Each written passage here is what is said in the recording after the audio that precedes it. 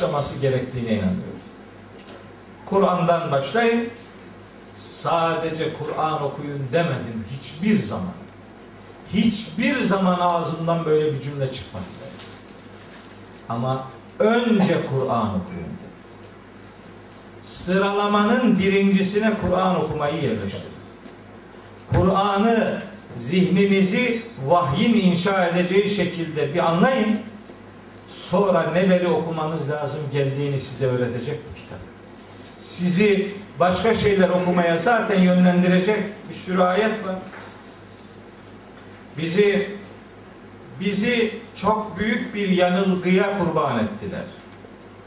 Bize ayet diye sadece Kur'an cümleciklerinin bulunduğunu söylediler. Oysa Kur'an bize ayetin Kur'an cümleciğinden ibaret olmadığını defalarca haykırdı. Defalarca.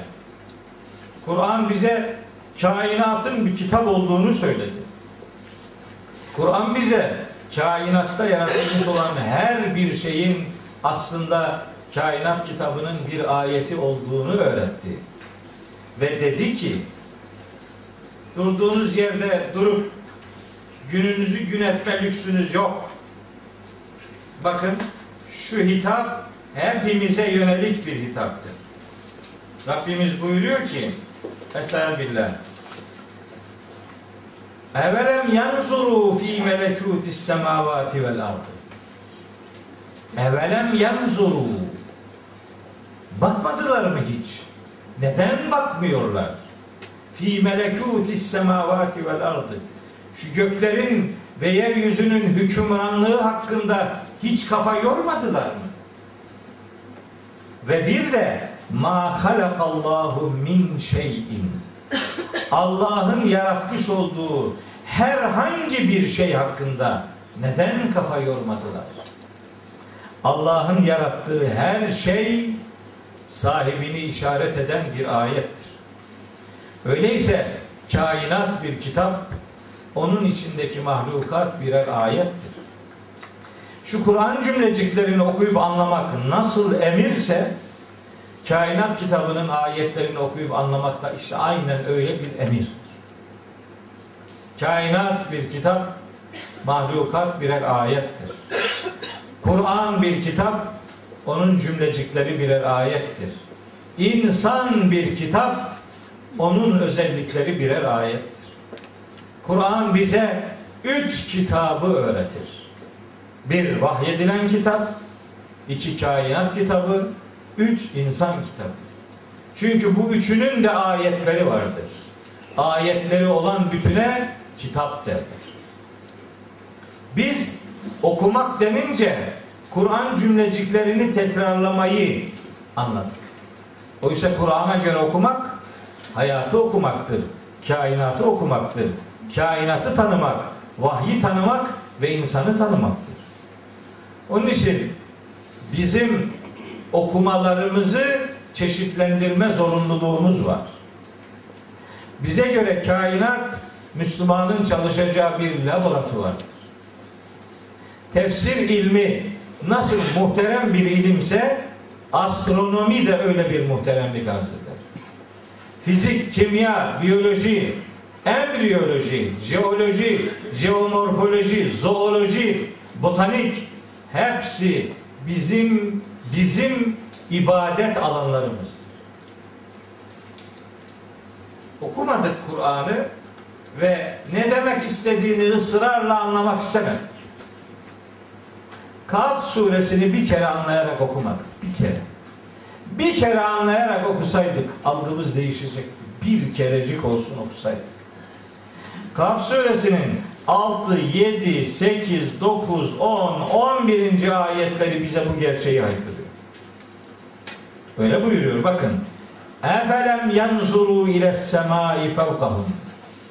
Üzerlerindeki bu semaya neden bakmadı insanoğlu?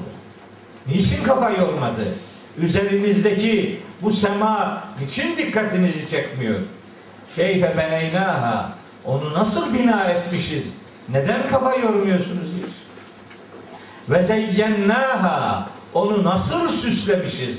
Neden bakmıyorsunuz? ve ma leha min furucin. Dikkatle bakın göreceksiniz. Onda hiç yırtık, çatlak, patlak yok. Yok. Muhteşem bir dizayn var. Bu ayet bize astronomi sizin ilminizdir.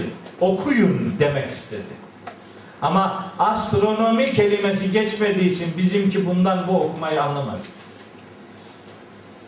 Sonra vel arda neden yeryüzüne bakmıyorlar?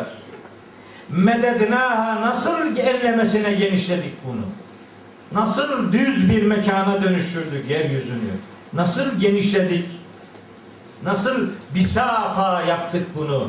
Enlemesine gep geniş bir alana dönüştürdük. Ve elkayna fiha. Onun içerisine nasıl ağırlıklar yerleştirdik? Neden bakmıyorlar? Yerin içindeki ağırlıkları yere çakılan dağlar diye tercüme ettik. Böylece manzara bakışıyla görevimizi yerine getirdiğimizi zannettik. Oysa ve elkayna aleyha demedi Allah. Üzerine dağların yerleştirmesindesin söz etmedi. Ve elkayna fiha ravasiye. İçine ağırlıklar koyduk. içine yerin içine ağırlıklar koyduk. Bir jeomorfoloji biliminin tarifidir bu. Yer birimi mamayla, mamanın içindeki çekirdek tabakayla oraya yerleştirilen ağırlıklarla alakalı çalışmalar yapın diyor. Neden bakmıyorsunuz yerin içinde nasıl ağırlıklar var bir düşünsenize. Sonra ve embetna fiha min kulli zevcin behicin. Sonra yeryüzünde göz alıcı güzellikte nice çiftlerden bitkiler bitirdik. Neden? Neden bakmıyorsunuz? İşte botanik. Bitkilerle ilgileneceksin. Bitkiler sana konuşacak. Onlar da Allah'ın ayetleridir. Onlar da konuşur anlayabilene. Yunus'un sordum sarı çiçeğe ilahisindeki sözü hoş boşuna değil. Evet, ayetle konuşmak mahlukun sahibini hatırlattığı, haykırdığı sesine kulak vermektir. İşte botanik. Bütün bunları neden incelemiyorlar? Halbuki iyi düşünseler bunun şu iki gayeye hizmet ettiğini anlarlar. Tebsiraten ve zikra. Tebsiraten size böyle bir bakış basiret kazandıracaktır.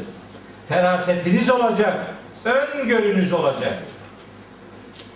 Ve zikra ve sonunda gerçeği hatırlatacak. Kime hatırlatacak bunu? Likülli abdin münibin. Hakka yönelen her kula bunlar bir basiret ve bir tezekkür vesilesi oluşturacak. İhmal ettik bu dünyayı. Başkaları bu dünyanın ayetleriyle ilgilendiler. Biz bu ayetlerle ilgilenmeyi bazen ikinci plana bazen gündem dışına bıraktık, ittik. Hatta gün geldi okullara dinsiz okullar diyerek çocukları okullara göndermez olduk. Halbuki binanın dinlisi dinsiz olmaz. Sen protesto eder, o binanın eğitimine, öğretimine sahip çıkmazsan ona başkaları sahip çıkar. Sonra onların icat ettiği uçaklara binersin, onların icat ettiği telefonları kullanırsın, onların icat ettiği elektronik malzemelerle hayatını yürütürsün. Sonra da onlar cehenneme biz cennete gideceğiz diye bir terane tutturur gidersin. Seninki bir kuruntudur. Kuruntunun cevabını Nisa suresi 123. ayet verir. Leyse bi emaniyyikum ve la emaniyyi ehlil kitab. Kurtuluş ne sizin kuruntunuzla ne de ehli kitabın kuruntusuyladır. Kuruntuyla kurtuluş yok. Kurtuluş fedakarlıkla doğru orantılıdır. Emeğiniz yoksa ekmeğiniz olmaz. Emeği vermeyene yemek verilmez. Emeksiz ekmek de yemek de yok. Öyleyse bu hayatın kodlarını, temel kodlarını biz kavrayacağız.